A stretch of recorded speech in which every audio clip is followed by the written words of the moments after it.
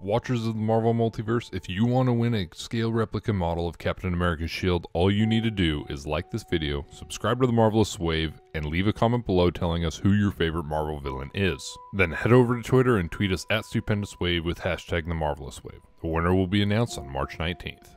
So it seems that this past week, that James Cameron's 2009 hit Avatar was released in China to boost its box office numbers.